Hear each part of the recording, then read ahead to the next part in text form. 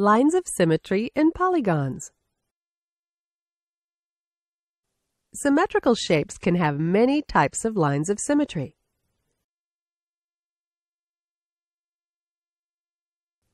Let's take a look at the following polygons and try to find all the lines of symmetry in these polygons. The first one is a square.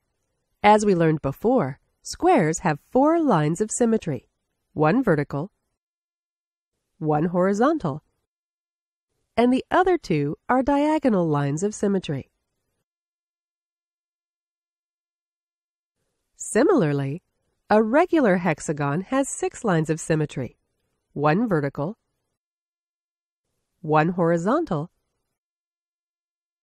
and four diagonal lines of symmetry.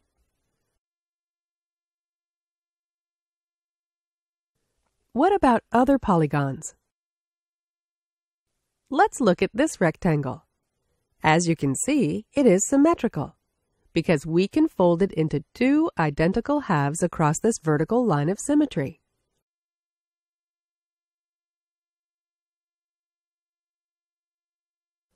Also, it has a horizontal line of symmetry. But does it have any diagonal lines of symmetry? Let's check it out. If we split the rectangle across this diagonal line, the resulting two parts are not identical. What if we try the other side? Again, we have mismatched parts.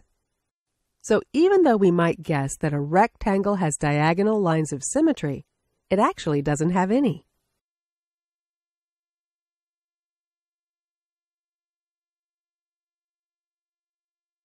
What about this triangle?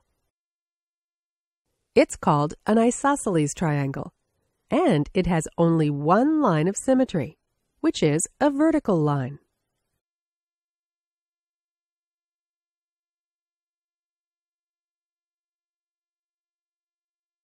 This polygon is symmetrical across this horizontal line of symmetry.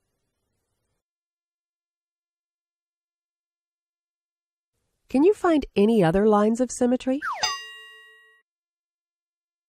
No. As you can see, we can't divide it or fold it across any other lines.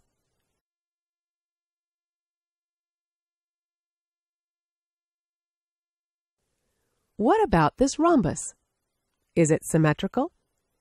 If we try to divide it horizontally like this, we don't get two identical parts.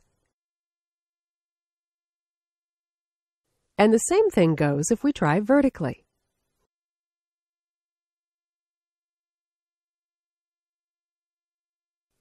What if we try to split it across diagonal lines like this? The resulting parts are actually identical.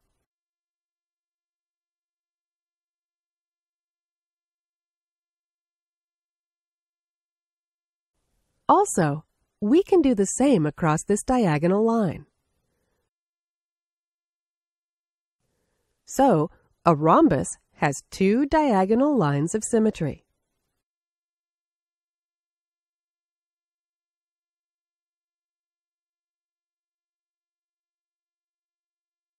To summarize, let us have another look at the polygons and the lines of symmetry in each of them.